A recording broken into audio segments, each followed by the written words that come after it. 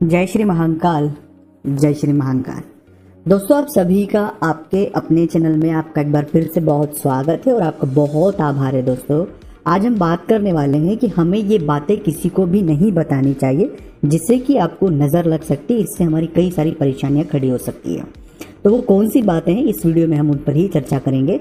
लेकिन उससे पहले एक छोटा सा निवेदन है कि अगर आपके जीवन में कोई तकलीफ़ या परेशानी से आप गुजर रहे हैं या कोई आप मेरी मदद चाहते हैं अपनी कुंडली का विश्लेषण करा के तो प्लीज़ आप व्हाट्सएप पर अपॉइंटमेंट लेकर बात कर सकते हैं, उसका शुल्क लागू है दोस्तों।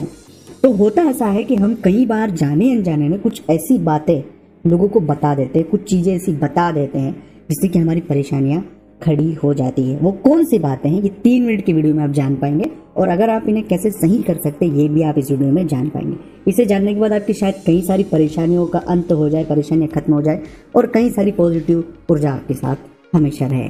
तो हम आगे वीडियो को बढ़ाते हैं दोस्तों। उससे पहले एक छोटा सा मैं निवेदन आपसे करना चाहता हूँ कि अगर अभी तक आपने चैनल को सब्सक्राइब नहीं किया है, चैनल से नहीं जुड़े हैं, प्लीज़ आप चैनल को सब्सक्राइब करें, चैनल से जुड़े। कमेंट्स में लिखे जय शिव शंभु, हर हर महादेव।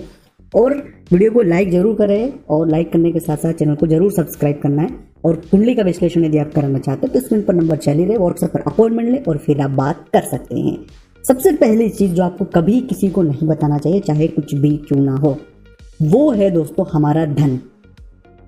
क्यों मैं ये बात कह रहा हूँ? क्योंकि धन जब भी पब्लिकली हो जाता है, हमें बिल्कुल सरकार को बताना चाहिए प्रॉपर इनकम टैक्स भरना चाहिए, वो अलग विषय है।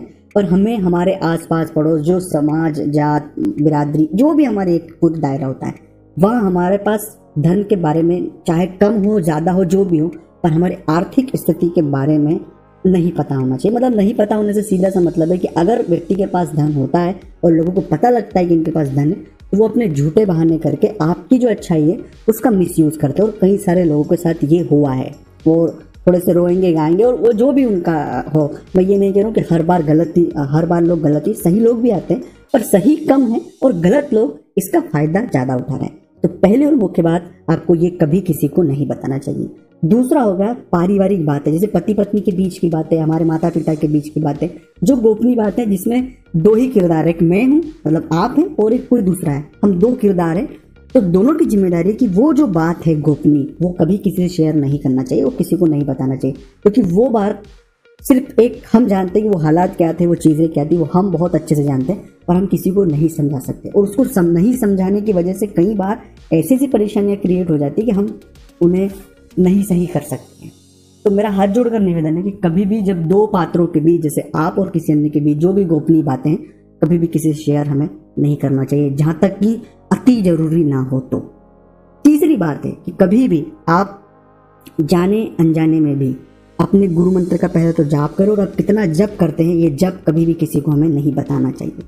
दोस्तों, ये तीन चीज़ें हमें भूल कर किसी को नहीं बताना चाहिए। अगर आपको अच्छा लगा तो लाइक करना, शेयर करना, कमेंट्स करना।